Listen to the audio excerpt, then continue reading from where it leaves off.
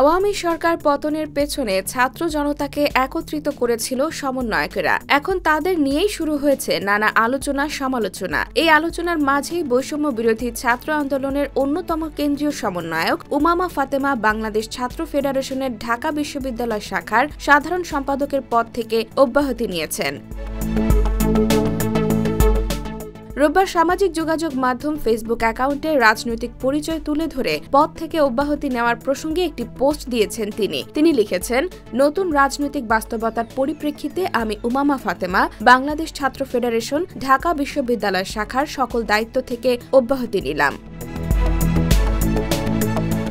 তিনি আরও লিখেছেন, বাংলাদেশ ছাত্র ফেডারেশনের সঙ্গে আমার দীর্ঘদিনের পথ চলা। এই জুলাই গণ অভ্যুত্থানে আমি বৈষম্য বিরোধী ছাত্র আন্দোলনের কেন্দ্রীয় সমন্বয়কের দায়িত্ব পালন করেছি।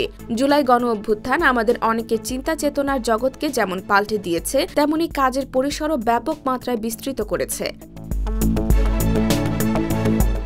লড়াইয়ের নতুন দিগন্ত উন্মোচিত হয়েছে। এই কেন্দ্রীয় সমন্বয়ক লিখেছেন, পরিবর্তিত পরিস্থিতিতে সময়ের প্রয়োজনে এবং সামগ্রিক বিবেচনায় আমার পক্ষে বাংলাদেশ ছাত্র ফেডারেশন ঢাকা বিশ্ববিদ্যালয়ের শাখার সম্পাদকের দায়িত্ব পালন করা সম্ভব হচ্ছে না। তাই আমি ঢাকা বিশ্ববিদ্যালয়ের ছাত্র ফেডারেশনের সম্পাদক পদ থেকে অব্যাহতির আবেদন করি, যা ঢাকা বিশ্ববিদ্যালয় কমিটি কর্তৃক গৃহীত হয়েছে। বাংলাদেশ ছাত্র ফেডারেশনের সঙ্গে আমার যাত্রা এখানেই সমাপ্ত হলো।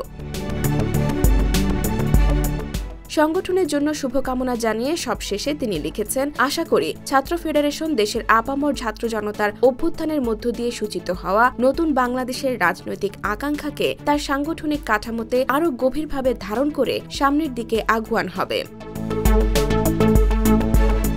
IBTV USA New York.